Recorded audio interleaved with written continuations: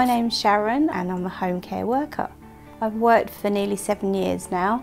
I go out into the community, into people's homes um, to help them independently live in their own homes. So I help them with several tasks, washing, making lunches, laundry and give medication. My job that I did before, I worked for Yves Saint Laurent Cosmetics, so completely different field. I had my daughter and obviously I wanted a job that fitted around my daughter and so I was able to go into care work so it fits around our family.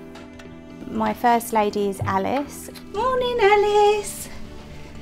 Oh, you're awake. Did you have a good night's sleep? There we go.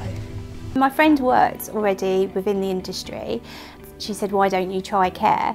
This to me was very daunting, but when your new person goes out, they will always shadow anyway, so you'll always have an experienced carer that will show them how to do it. And they're always there to support you to do your job properly. So I'm going in to see Lynn. Hi Lynn! Hi!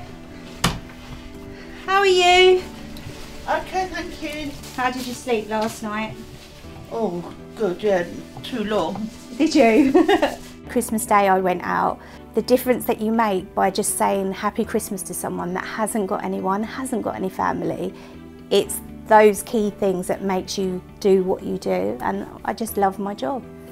So today I'm going to prepare Lynn's breakfast and her lunch. I couldn't cope with that, Sharon, at all. I just couldn't. Just means that I can still stay in my own home.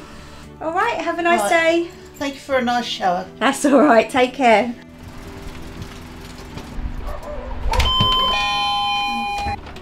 Hi, Morning, Sharon. How are you? I'm all right, how are you? I'm fine. Mum's fine, yeah, she's awake. It's a lot of support for me. She gets full care, they look after, they come in, get her up. They're very, very good. I never ever thought I would do care. Like coming from cosmetics, being a manager um, with a team full of people, and then till that day that I actually done it, and now I wouldn't change it. It's about job satisfaction for me. I'd love making a difference to people, giving them the ability to live in their own home, but it gives you fulfilment in your job. And I'm still 10 years down the line in care.